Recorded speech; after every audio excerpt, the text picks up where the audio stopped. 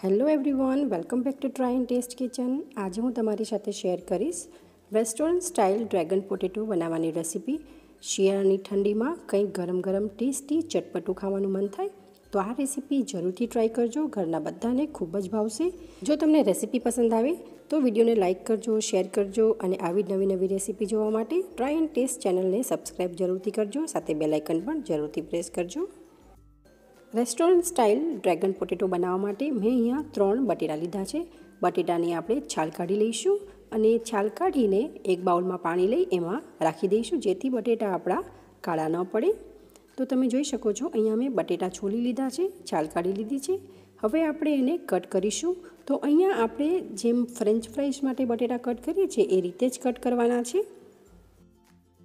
McDonald જેવી એકદમ crispy French fries કઈ રીતે બનાવી એની રેસીપી મેં ઓલરેડી શેર કરી છે. લિંક હું ડિસ્ક્રિપ્શન બોક્સમાં આપી દઈ, તમે ત્યાંથી ચેક કરી શકો છો. તો આ રીતે આપણે બટેટાની સ્લાઈસ કરીશું.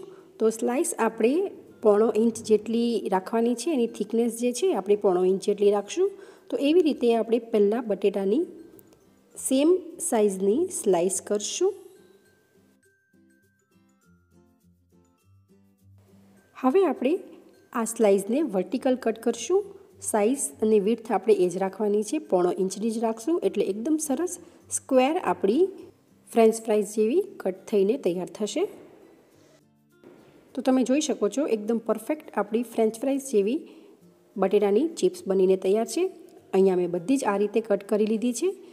હવે આપણે કટ કરેલી બટેટાની આ ચિપ્સને પાણીમાં લઈ લઈશું અને વોશ કરી લઈશું. જેથી એમાં જે પણ સ્ટાર્ચ હોય એ બધો જ નીકળી જાય.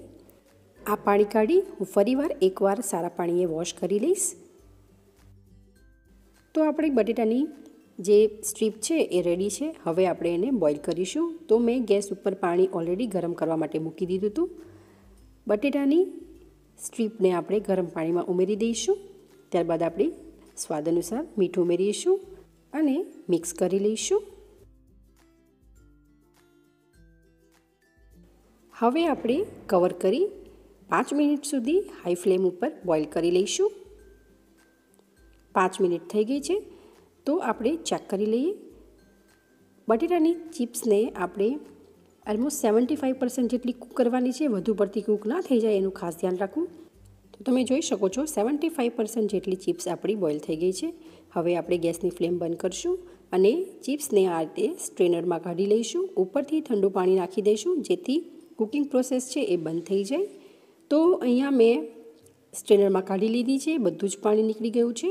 હવે આપણે એક પ્લેટ લઈશું અને બોઇલ કરેલી ચિપ્સને આપણે પ્લેટમાં કાઢી લઈશું.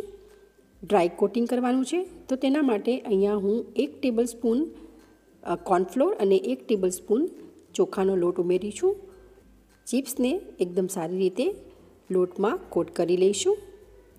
તો તમે જોઈ શકો છો, ચિપ્સ આપણી કોટ થઈ ગઈ છે. હવે આપણે તેના માટે બેટર બનાવીશું. તો એક બાઉલમાં આપણે ત્રણ ટેબલ સ્પૂન મેંદો લઈશું અને ચાર ટેબલ સ્પૂન ચોખાનો લોટ લઈશું. જો તમારી પાસે ચોખાનો લોટ ના હોય, તો તમે કોર્નફ્લોર પણ લઈ શકો છો. ત્યારબાદ આપણે સ્વાદ અનુસાર મીઠું ઉમેરીશું અને બરોબર લોટમાં મિક્સ કરી લઈશું. થોડું થોડું પાણી ઉમેરી મીડિયમ, થીક કન્સિસ્ટન્સીવાળું બેટર તૈયાર કરશું. તો તમે જોઈ શકો છો, બેટરની કન્સિસ્ટન્સી આ ટાઈપની હોવી જોઈએ. બેટર બહુ વધારે પડતું ઢીલું થઈ જશે તો કોટિંગ નહીં થશે અને બટેટા સોફ્ટ થઈ જશે. તો હવે આપણે જે તૈયાર કરેલી ચિપ્સ છે, કોટિંગ ડ્રાયવાળી એને આપણે બેટરમાં ઉમેરીશું અને ફ્રાય કરીશું. તેલ મેં ઓલરેડી ગેસ ઉપર ગરમ કરવા માટે મૂકી દીધું છે અને તેલ એકદમ સરસ ગરમ પણ થઈ ગયું છે. હવે આપણે ચિપ્સને બેટરમાં ડીપ કરી, કોટ કરી, આ રીતે તેલમાં છૂટી છૂટી મૂકતા જવાનું છે, જેથી એકબીજા જોડે સ્ટીક ના થાય. ગેસની ફ્લેમ મીડિયમ રાખીશું અને મીડિયમ ફ્લેમ ઉપર આપણે ચિપ્સને ત્રણથી ચાર મિનિટ સુધી ફ્રાય કરી લઈશું. આ ચિપ્સને આપણે સેકન્ડ ટાઈમ પણ ફ્રાય કરવાના છે. તો ત્રણથી ચાર મિનિટ થઈ ગઈ છે. ચિપ્સ એકદમ સરસ ફ્રાય થઈ ગઈ છે. આપણે ટીશ્યુ પેપર ઉપર ખડી લઈશું. મેં આવી જ રીતે બીજી બધી જ રિમેનિંગ ચિપ્સ પણ ફ્રાય કરી લીધી છે. હવે આપણે ચિપ્સને સેકન્ડ ટાઈમ ફ્રાય કરીશું. તેના માટે તેલને એકદમ સરસ ગરમ થવા દેવાનું છે. તમે જોઈ શકો છો તેલ એકદમ સારી રીતે ગરમ થઈ ગયું છે. હવે આપણે એકવાર તરેલી ચિપ્સને ફરીથી તેલમાં ઉમેરી એક મિનિટ સુધી હાઈ ફ્લેમ ઉપર જ આપણે ફ્રાય કરવાની છે.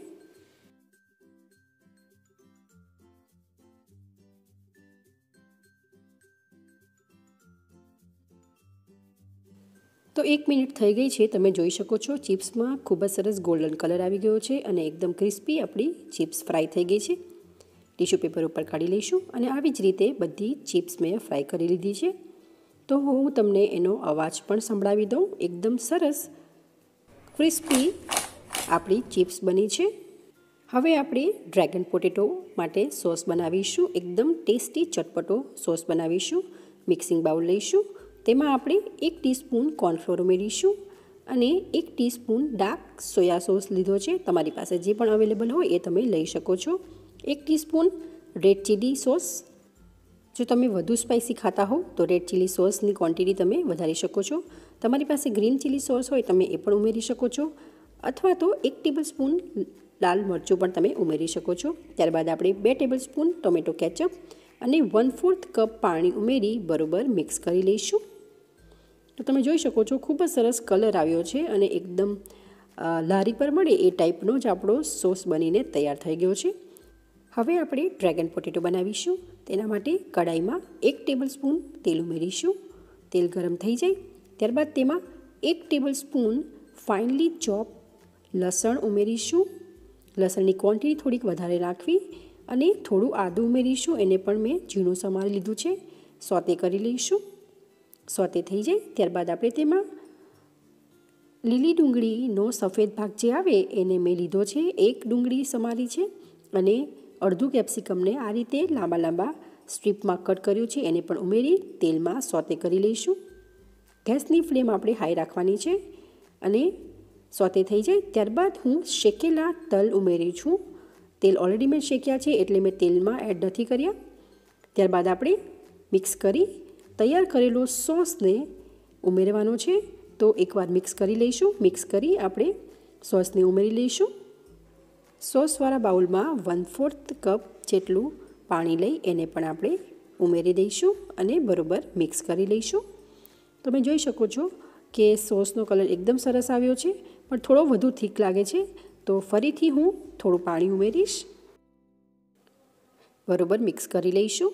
તમે જોઈ શકો છો, એકદમ પરફેક્ટ કન્સિસ્ટન્સીવાળો આપણો સોસ બનીને તૈયાર છે. જેમ બહાર આપણે લારી ઉપર ખાતા હોય એ ટાઈપનું જ ટેક્સચર અને એ ટાઈપનો જ કલર અને ટેસ્ટ પણ એ ટાઈપનો જ હશે. તો હવે આપણે ડબલ ફ્રાય કરેલી બટેટાની ચિપ્સને ઉમેરી બરોબર મિક્સ કરી દઈશું. તો જેને જોતાં જ ખાવાનું મન થઈ જાય એવું સ્ટાર્ટર ડ્રેગન પોટેટો રેસ્ટોરન્ટ સ્ટાઇલમાં એકદમ સુપર ટેસ્ટી ટેંગી ટેસ્ટ સાથે બનીને તૈયાર છે. ઉપરથી આપણે લીલી ડુંગળીના પાનથી ગાર્નિશ કરીશું અને સફેદ તલ પણ ઉમેરીશું. તો ગરમા ગરમ ડ્રેગન પોટેટોને સર્વિંગ પ્લેટમાં સર્વ કરી લઈશું.